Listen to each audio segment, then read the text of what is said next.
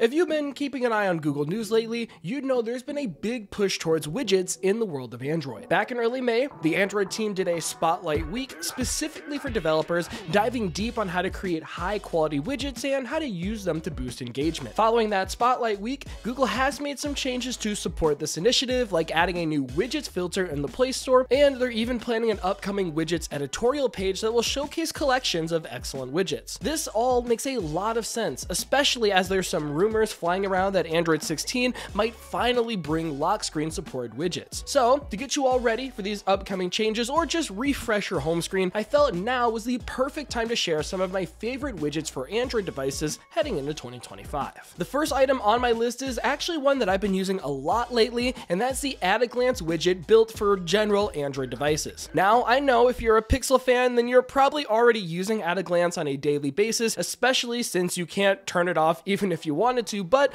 if you're someone that's using a non-Pixel device like I am currently with the OnePlus 13R, or if you're using a custom launcher, you might be missing out on that Pixel-like experience, and that's where the at-a-glance widget for general Android devices comes in, and basically, whenever I'm not using a Pixel device, this widget is typically one of the first ones that I add to my home screen. I love it because I still get that familiar Pixel-like experience where I can quickly receive info on a wide range of data like my calendar events, weather alerts, traffic info, flight statuses, and much, much more right on my home screen. Visually, I do think it looks interesting too. There are three different styles to choose from, that being transparent, semi-transparent, and solid, and it supports light or dark mode depending on your system theme.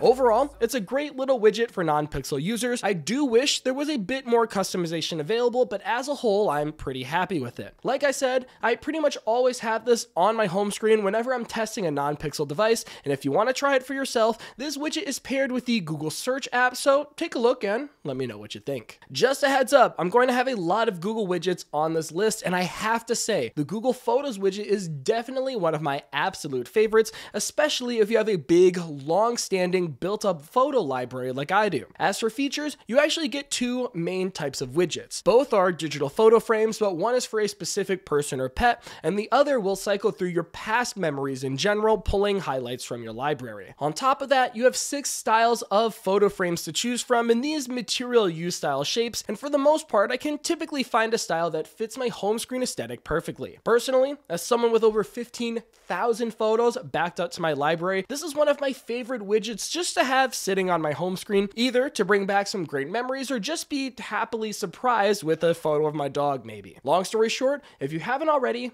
definitely try it out. Next up is a great weather widget that you should 100% have on your radar, which you can get through an app called Today Weather. This one I actually found using the new Google search filters in the Play Store we talked about earlier.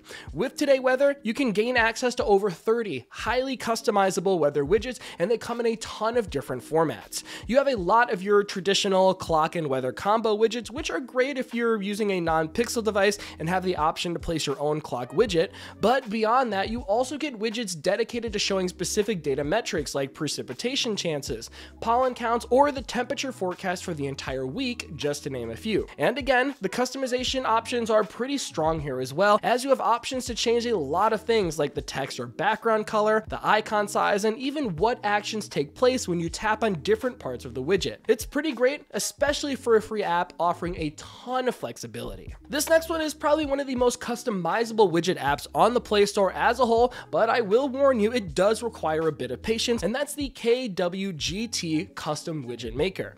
This app has been around for years and is a favorite in the Android customization community.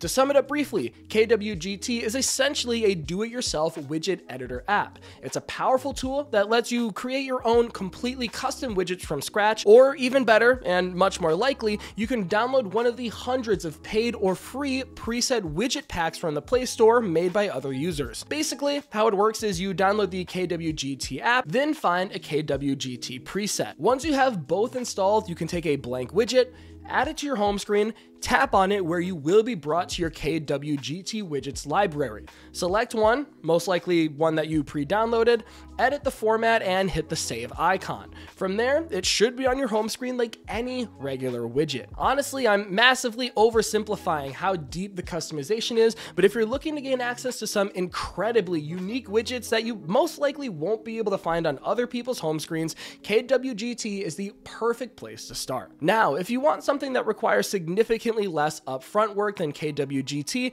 then of course the standard Google Clock app is a safe, solid set of widgets that have a nice variety that should look great on your home screen.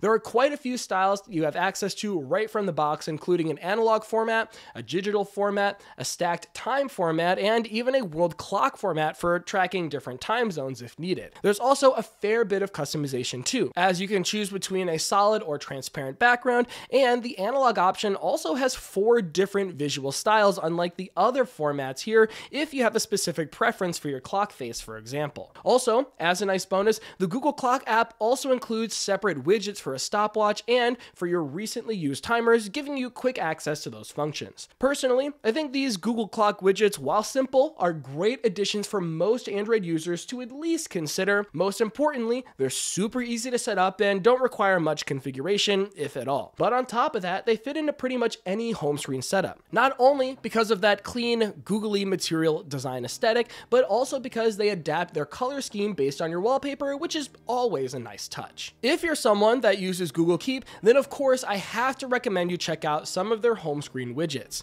The widget options for Google Keep are pretty much a must have for anyone's home screen if you use the app on the regular, and even if not, you should probably check it out and start getting used to it. There are three distinct variants that you can choose from, each serving a slightly different purpose. You've got a quick capture widget, a note collection widget, and a single note widget. My personal favorite is the note collection view, as it can show you all of your recent notes, or you can filter it to only show notes from specific labels or categories. From there, you can quickly tap into any note to view or edit it immediately. The single note view works pretty similarly, except as the name suggests, it pins one specific note to your home screen for constant visibility and quick editing, which I find useful if I need to keep track of one reoccurring list. And last is the quick capture widget, which is fantastic because it lets you create any kind of keep note you need in just one tap. You get instant access buttons to start a regular voice note, a checklist, a voice memo, a photo note, or even a drawing note. It's super convenient if you're constantly taking notes using all different modes of communication. Long story short, if you're a Google Keep user, seriously consider adding one of these widgets to your home screen. I'm sure it will immediately make your life feel a bit more organized. And for the music lovers out there, especially if you use YouTube Music every day like I do, you need to check them out because they offer some awesome widgets to have on your home screen. There's actually three main variants that you can pick from. One is the unique turntable style widget, which is probably my personal favorite. It's a super simple widget that displays the current album art in a cool spinning record-like design, has play pause controls, and includes a thumbs up button to quickly like the song that's currently in rotation. Then we have the recently played widget, which is my second favorite. This one is really flexible as it has many different size options and it changes its format to display more or less information depending on the size you go with. It's a simple widget that shows the album art for the most recently played songs that can be accessed with a single tap. There's also play pause controls and a thumbs up button as well. And lastly, there's the now playing variant. This is probably the cleanest choice of the three, giving you easy access to media controls, that being play pause or skip a track in a small, sleek Material You design that fits nicely pretty much anywhere. For my own use case, I'll typically keep one of these three on my home screen, usually swapping between the turntable and recently played, depending on my mood and whatever layout that I have at that time. Overall, they are some really well designed, super convenient widgets for quick music controls directly on the home screen, and the fact that they're seamlessly integrated with Android just makes for a really good experience, especially for someone that primarily uses YouTube Music. And that, my friends, are some of the top Android widgets that should definitely be on your radar going into 2025. Whether Android 16 actually does implement lock screen widgets or if you just need some fresh ideas for your current home screen setup, all of these are absolutely worth taking a look at. With that said, I'll turn this over to you guys now as I am super curious what widgets you're currently using on your home screen that we did not talk about in this video. Leave a comment and let us know down below as I'm sure there are a lot of other great ones out there that we haven't seen yet and hey, I'm always open to new ideas. In the meantime, I'm getting out of here, but before I do, huge shout out to our channel members on screen right now. Simply put, thank you so much for your support and make sure to check out the April wallpaper pack if you haven't already, and please stick around and subscribe for more Android content like this. Until next time, this has been Jordan Floyd with 9to5 Google. Thank you so much for watching, and I'll see you in the next one.